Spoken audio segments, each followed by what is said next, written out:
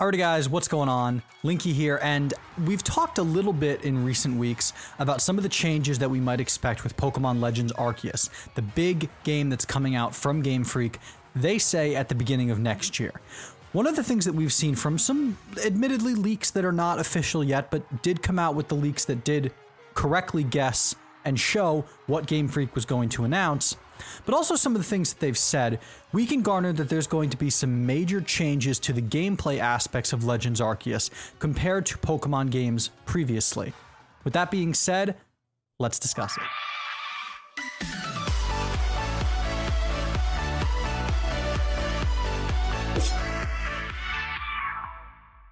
Now, when we're talking about gameplay for Legends Arceus, we're not necessarily talking about how you're going to go about completing the game. What I want to discuss today is your character. How are they going to move, navigate, and interact with the world around them? Typically in Pokemon games, you have your character, you walk around, or you run, or you're on a bike or some kind of mount. You have items in your bag, you catch Pokemon. Your Pokemon basically do all the quote unquote interacting with the world itself. But from some leaks and from just natural speculation based on what this game is, I have a feeling that we're going to see a lot more player interaction with the world itself. And the first thing that really shows that is how in one of the trailers, well, in the only trailer, you interact with a wild Pokemon. Now, in the gameplay, we see that the trainer crouches and gets near this Pokemon, does a bit of a shimmy and a, a jump, and moves towards him. And then you see an actual what appears to be without an interface, a way for you to navigate and throw Pokeballs on the fly. Now, this trainer is not using a Pokemon to battle the wild Pokemon, it's just the trainer and the Pokemon itself. That opens up a whole host of possibilities for us, and I think the first thing is that we're going to see Pokemon and trainer interaction in a way that we've never seen before. Now, I'm not totally sure if this is going to translate to the Pokemon you catch, Maybe they'll follow you, maybe they'll walk with you, maybe there's going to be some advanced Pokemon Camp, Pokemon-Amie refresh mechanics in this game, ways to interact with your Pokemon, but I'm talking about wild Pokemon. There were some leaks and there's been some speculation, so if you don't want any spoilers, click off the video now because we're going to be discussing them. But a lot of this is telling us as future players that Pokemon are going to be able to come after the trainer. They're going to be able to chase off the trainer injure the trainer, attack the trainer in ways that we've never had in Pokemon games.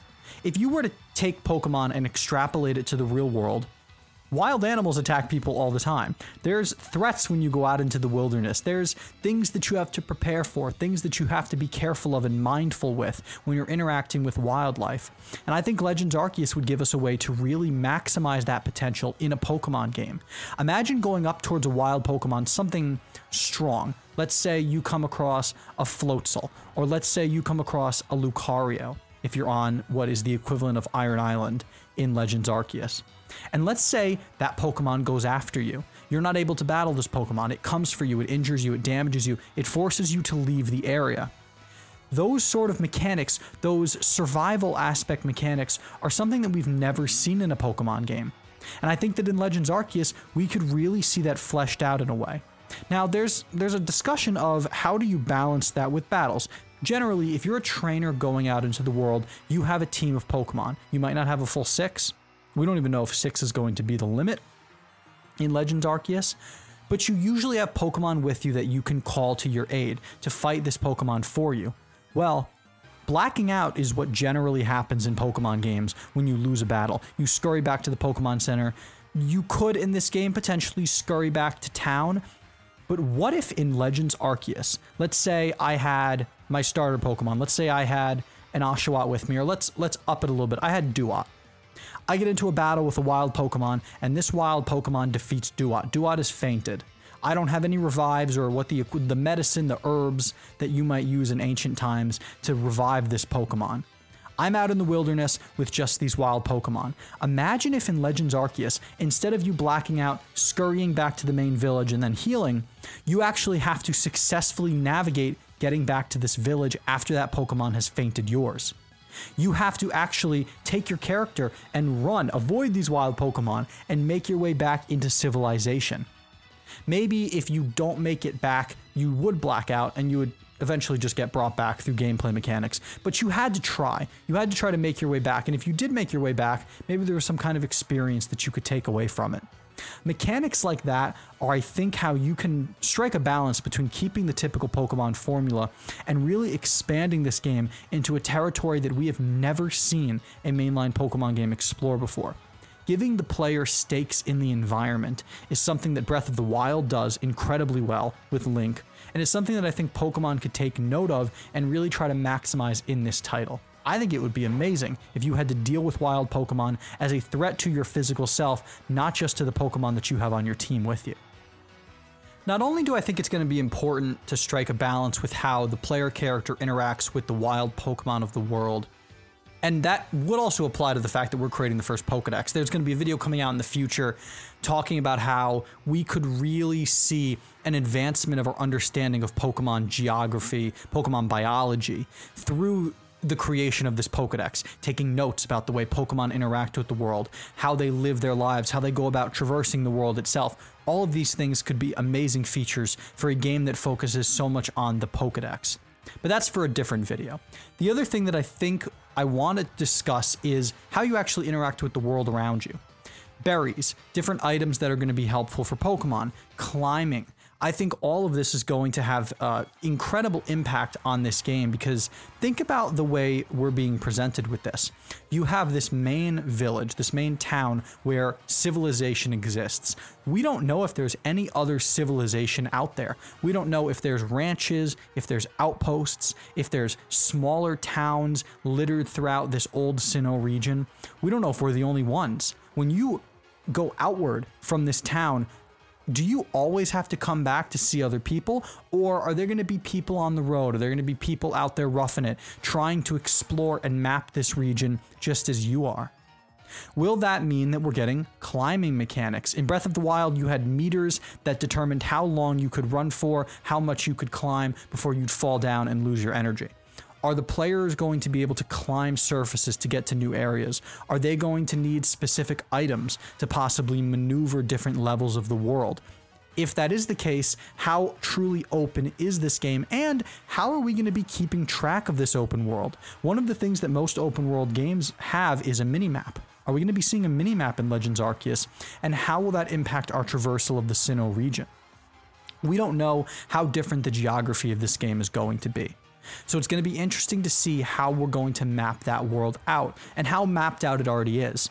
We don't really know how much development of Sinnoh there has been. We don't know how long people have been here, and we don't know where they're specifically coming from. You could surmise that maybe they're coming from the Johto region and the Kanto region because in Pokemon lore, those two regions are connected south of the Sinnoh region, but some of the starters we see could show that they're coming from Alola, could be coming from Unova.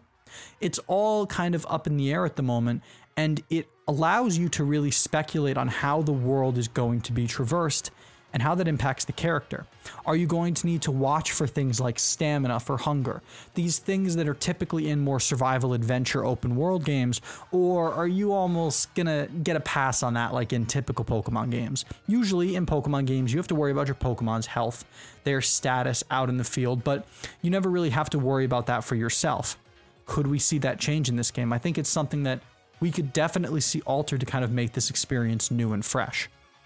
The final thing about gameplay and character movement in this game that I wanted to hit on is the use of Pokemon and the use of mounts in general. Now, when I say mounts, I'm talking about everything. We're talking about bicycles in the old Pokemon games, we're talking about the ride features in Generation 7, we're talking about all of that. And I think that it would be a really interesting idea if we ditched the idea of bikes. No, no mechanical things to maneuver your characters around the world necessarily, but I think all of it should be supplied by Pokemon. There's some really cool concept art that I've seen floating around the internet over the last couple years of how humans and Pokemon would interact in old times. Uh, you have larger Pokemon like Tauros and Bouffalant hauling wagons. Uh, Mudsdale is another example of that. You have certain Pokemon helping with farming, certain Pokemon helping out around the household. Um, in the in the Galar region, there's a ton of really good lore in the Pokedex about how Carkol, the middle evolution of Coalossal and Rolycoly, was used to heat the homes of people in ancient times, and people still travel with Carkol today for that same purpose. It's one of my favorite bits of information from Generation 8's Pokedex. I think Game Freak expanding on the idea of the role, the bond between people and Pokemon in a day when not many of them, I would assume, had access to a Pokedex is going to be a gameplay function that I think would be really cool. And you could do a ton with it. For example, there could be a feature in this game where, as you learn more about some of the Pokemon that inhabit the Sinnoh region, as you collect data on them for your Pokedex, you unlock special uses for those Pokemon. So let's say you're doing research on a Pokemon like Drifblim, for example, or a Pokemon like Staraptor, flying types. As you do research on them, you gain the ability to use them for something like fast travel. Maybe there's an aerial component to the game, who knows? We've seen that in past games that were not open world the possibilities for this sort of feature, I think, are generally endless. There's so many different use cases of whether it's in the anime or if it's in cutscenes in Pokemon games where we see Pokemon in the world really interacting with it. And I think that's the that's something that Legends Arceus has a chance to expunge on incredibly well. And I think they're going to do it. I think there's a lot of the concept art that I've seen over the years just it makes it seem like such an interesting and fascinating piece of Pokemon history. We've seen very ancient Pokemon history, whether it's in Kalos or whether it's been in Galar, where we have wars between different warring groups, and Pokemon are part of those wars. We've seen war depicted in ancient Pokemon times in the Lucario and the Mystery of Mew movie, where in that movie, the Pokemon have armor the Pokemon are fighting this war alongside the human soldiers. So ultimately, there's just a lot we can do with this. With that being said, I want to hear what you guys think. Are there specific gameplay mechanics that you think should be added to Legends Arceus from other games, or are there new mechanics that you think could really work for a Pokemon game? I would love to hear what you think. Let me know down in the comments. And if you want to follow me on social media as well and talk to me more about these games there, my social links are down in the description of every single video. I'm LinkyYT on everything. So let's get, let's connect, and let's talk more about Legends Arceus. That being said, this video is a wrap. I hope you enjoyed, and I will talk to you all later. Peace out.